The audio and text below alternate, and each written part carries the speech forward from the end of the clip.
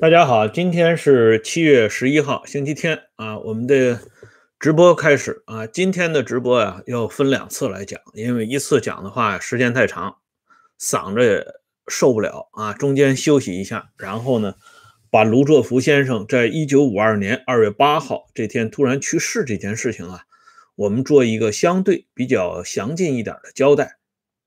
嗯，昨天的节目结尾处啊，就提到了周恩来。在与卢作孚交往过程当中，特别是一九四九年之后，有两段意味深长的谈话啊，这是卢作孚先生的公子卢国际啊，他回忆的这两段话呢，非常能够彰显周恩来的为人。更主要的是，通过这两段耐人寻味的谈话，我们也可以看到当时。啊，上层对包括卢作孚这样的著名的民族资产阶级的巨擘啊，这种轮船业的巨子，中国民生公司的创始人，到底是一个什么样的态度？或者说，就是他们最真实的盘算啊？我们先来看第一次啊，这是卢作孚从香港。回到北京，就是第一次啊，第一届政协第二次会议召开前夕，卢作孚到了北京了。到了北京之后呢，卢作孚是作为特邀代表参加了这次会议。卢作孚在北京期间受到毛泽东的接见，啊，周恩来和陈云也多次见到卢作孚，其中。有一次啊，是凌晨两点钟的时候，哎，大家想一想，凌晨两点钟这个时间段，周恩来突然给卢作孚打电话，哎，大家想，如果不是重要的事情，以周恩来的为人的精细程度，他是断然不会在凌晨两点钟给这位老友打电话，打扰人家的美梦啊，这是一个常识啊，也是一个基本的礼貌。但是呢，哎，不仅打了电话，周恩来还专门派自己的车把卢作孚给接过去了。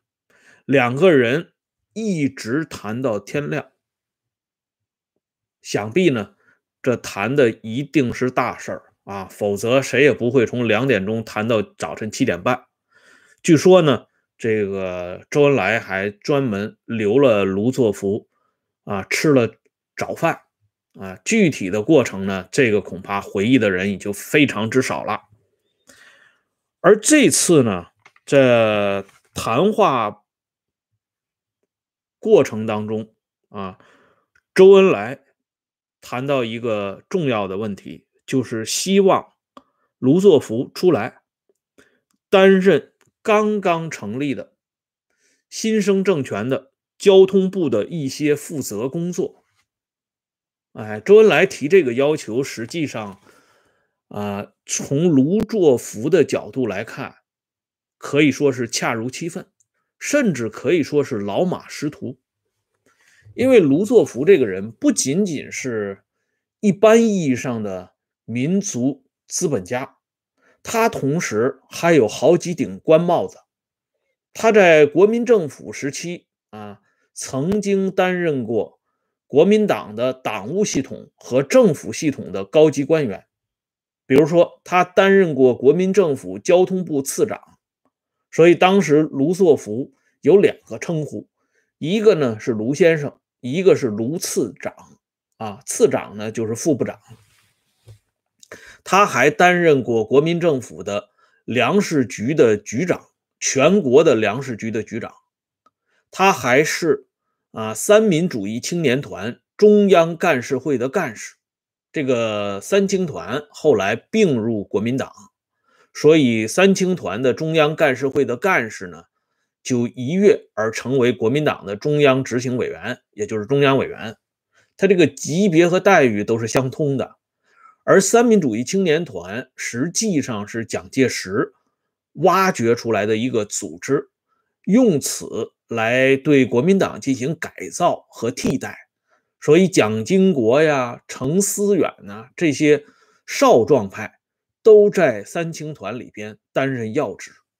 由此可以看到，卢作孚在国民政府时期，在蒋介石眼中也是一个重要的人物啊。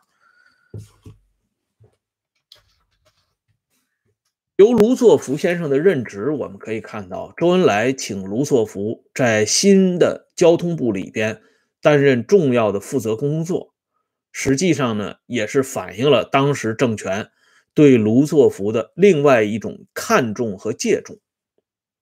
啊，这里呢，我简单的跟大家说一下啊，因为当时啊，这个政权刚刚诞生，呃，不论是国内还是国际上。对这个政权到底是一个什么样的状态，大家呢都不是特别清楚，而这个政权也急需一大批头面人物啊，特别是这种比较中性的，对政治方面呢没有过多涉及的，像卢作孚这样的人物站出来啊，替这个新政权撑门面，所以邀请卢作孚担任交通部的重要责任。责任，这一定是来自于最高当局。周恩来呢是传达一下最高当局的意图，而最高当局这个意图呢，通常表现为两层：一层呢，就是说要给政府撑门面，啊，要给党和人民脸上贴金，这是无需讳言的；而另外一方面，则是把这样的人物。纳入到党和人民的管辖范围之内啊！我经常跟大家讲的一句话，就叫“行此啊，做此官，行此礼”。你一旦做了官，不可避免的就要入党。这么高级的干部，你不入党是不可能的。即使不公开入党，也要秘密加入啊！我们这两天不是看到吗？海外有一名非常有名的演艺界的大哥。啊，高高兴兴的向全世界人民宣布，他想成为党员。可见呢，直到今天，我们这个伟大、光荣、正确的组织，已经啊有了将近一个亿的公开党员，但还是有很多人趋之若鹜，要成为他们当中的一份子。啊，所以啊，那句话说的是很对的：天不厌高，海不厌深。周公吐哺，天下归心啊，说的就是这个意思啊。周恩来要把心里的话啊掏出来，跟卢作孚说一说。而当时有一个最典型的例子，就是我以前跟大家说到的例子，就是梁漱溟老先生曾经被伟大领袖邀请进入政府工作，但是梁先生当时不识时务啊。他提出来，他还想作为一个客卿，站在岸边看这个政权呢如何的运作。事后，梁漱溟意识到了，他说：“这个领袖呢非常不高兴。”这段事情呢是出现在汪东林先生编辑出版的公开的啊《梁漱溟问答录》里边。我以前给大家说过，今天我就不引证具体的出处了。从梁漱溟这个例子，我们再看卢作孚。那卢作孚在上层心目当中的地位，要远远超过梁梁漱溟，因为梁漱溟手里没钱，哎，而卢作孚不论是手中的钱财和和他这个背景以及在国际上的影响，都是非常不得了的啊。因此邀请卢作孚任职，这个两个意思表达出来了，但是还有一层意思。这是周恩来想表达而不能直接表达的。在这里呢，我给大家先讲一个例子。大家都知道啊，跟恩来同志一同从铁岭这个全中国首屈一指大城市里出来的另外一位著名的布尔什维克，就是新疆督办盛世才。盛同志呢，曾经是伟大领袖和革命导师。毛泽东同志的领路人，斯大林同志的啊座上宾啊，盛世才呢是斯大林同志亲手介绍参加苏联共产党的，他是苏共的特别党员，啊，不在这个九千五百万公开党员范围之内啊。所以当时盛世才的这个背景吸引了一批啊进步人士到祖国的边疆去啊，试图呢与盛督办一起打造另外一个铁岭。啊这里边呢，就包括因为《新生周刊》讥讽日本政府出事了的张学良的座上客，也是同乡杜重远先生。这老杜呢，一腔热忱就跑到了西北边疆。他以为啊，盛大人呢，跟他既是东北同乡，又是革命同道，一定会拿他当成香饽饽。但是盛同志呢？深得斯大林的真传，啊，表面上把杜重远捧为上宾，实际上对杜重远呢已经开始下手。而这个时候，周恩来恰恰经过这个迪化，当时这个城市叫迪化，现在叫乌鲁木齐啊。周实际上已经很清楚杜重远的险恶处境，但又不能说破。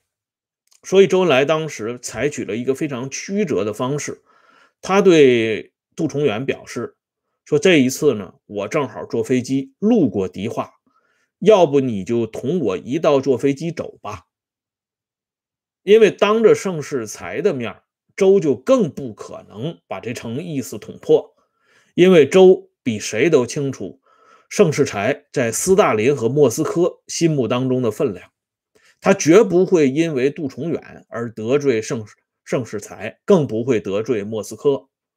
可惜杜重远是一个不折不扣的老书生，虽然呢革命，虽然左倾，虽然进步，但是脑子里没数啊，心里更没数，没听懂恩来同志的这一番教诲，稀里糊涂的被盛世才表面的盛情继续留在了新疆。最后赏给杜重远的呢，就是秘密处决。那么这一次，周恩来又把这种曲折的意思向卢作孚表达。谁也没想到，卢作孚呢，成了上个世纪五十年代初的杜重远。他也没听明白，周恩来先后两次向卢作孚表态，希望卢作孚。啊，来到北京工作，这第一次呢是卢作孚刚刚我说的到北京参加全国政协会议，而第二次呢，就是在卢作孚突然自尽前夕，他回到一次北京，然后周恩来再一次旧话重提，说你能不能啊到北京来工作，不要再回重庆，因为周恩来说你在北京的住处。我都已经帮你安排好了。卢作孚的儿子卢国际的回忆录里边有这么一句话啊，特别值得一提。这本书里边呢用了很多春秋笔法，因为没有办法，人在矮檐下不得不低头啊。卢先生他也不敢真实的把他老爹当年突然去世的全部真相通过公开出版物告诉大家，但是他可以通过一些曲笔。让大家了解一些真相的边边角角。这里边呢，卢国际写了这么一句话，他说：“总理希望父亲担任交通部的负责工作，并且希望他在北京留下来，不要再回重庆，甚至连在北京的驻地，总理也做了安排。”卢作孚呢，这一次。啊，好歹接受了周恩来的意见，答应留在北京，留在交通部工作没有问题。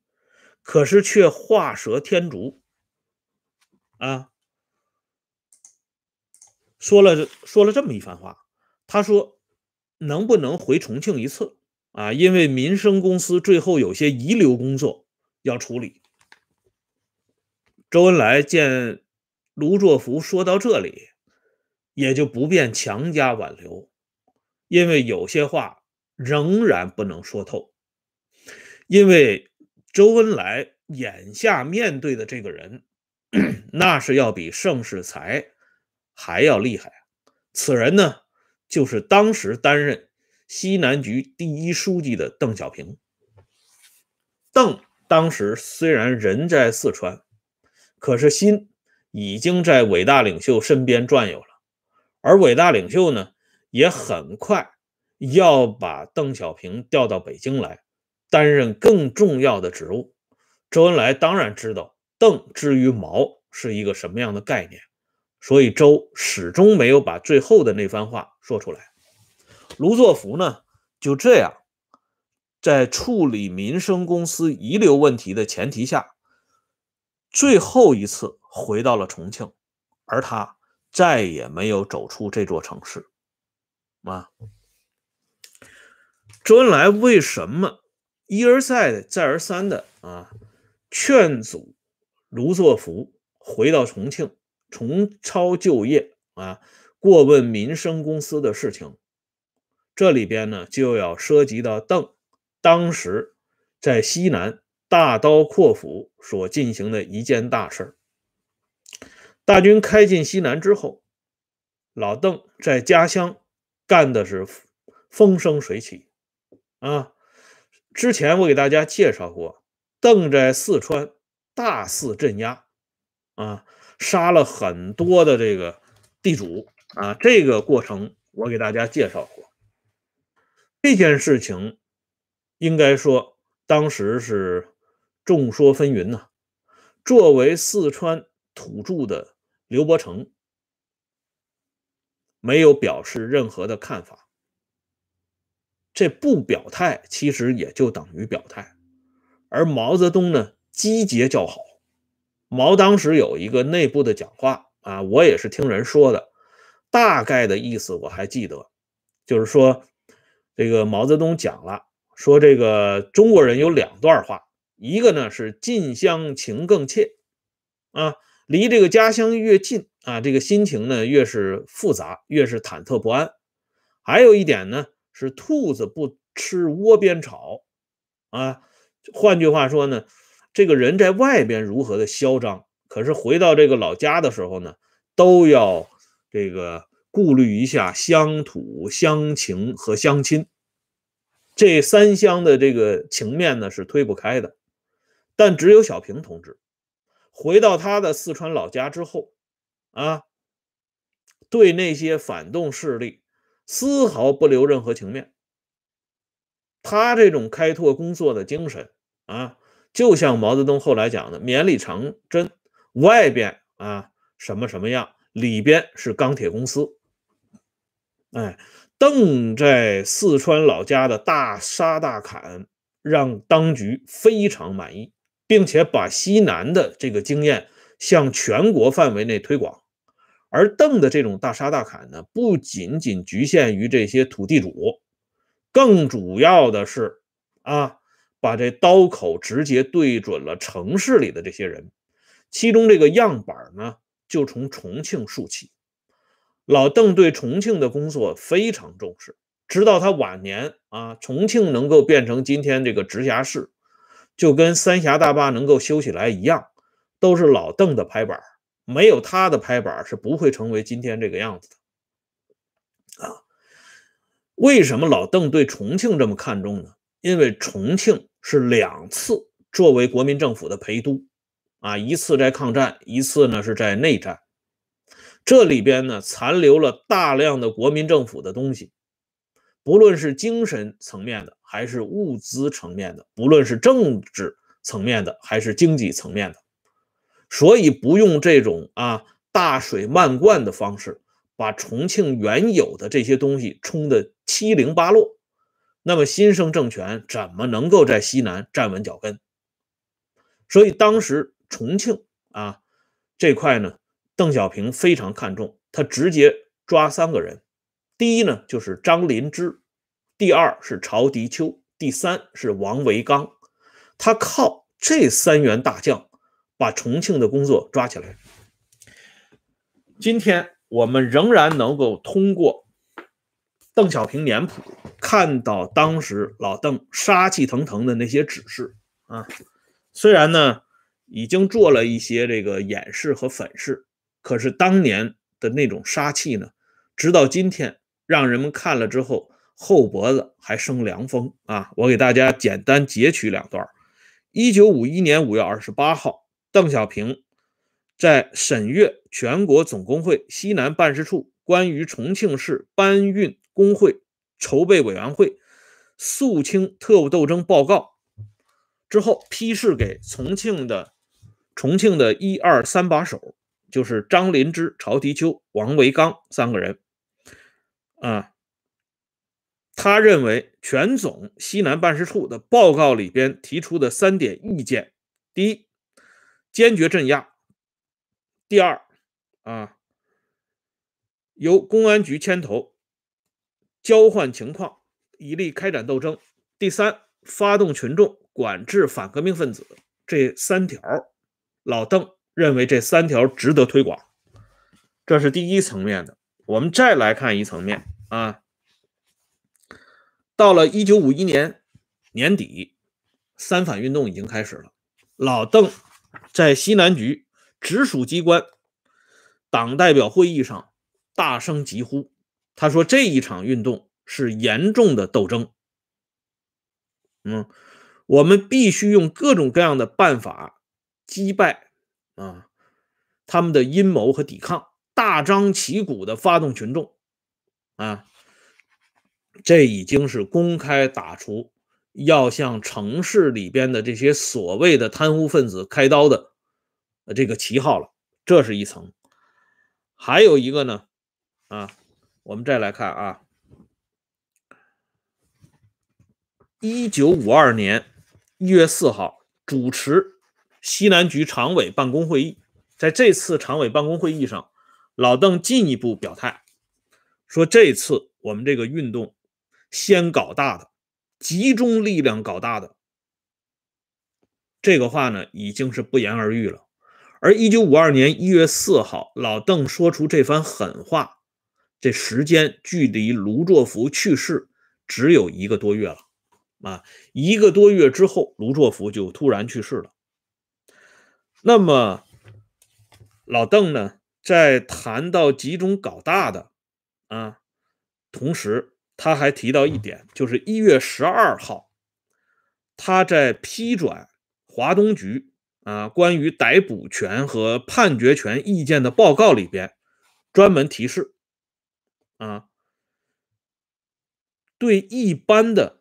大贪污犯的逮捕批准权交给地委和直属市委来执行。那对影响较大的人士需要逮捕的，需要省一级的批准；重要的报西南局和中央批准。对贪污犯判处死刑要经过司法机关。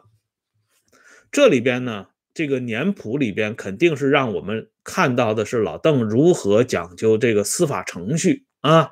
如何讲究用法的公正，但不经意之间也让我们看到了老邓提出的，对那些影响较大的人士一样需要逮捕，只不过呢是报经省里啊，或者是区啊，区就是省一级的这个建制啊，同意就可以了。对那些影响不大的啊，地委就是这个地市这一级，直接就可以办理了。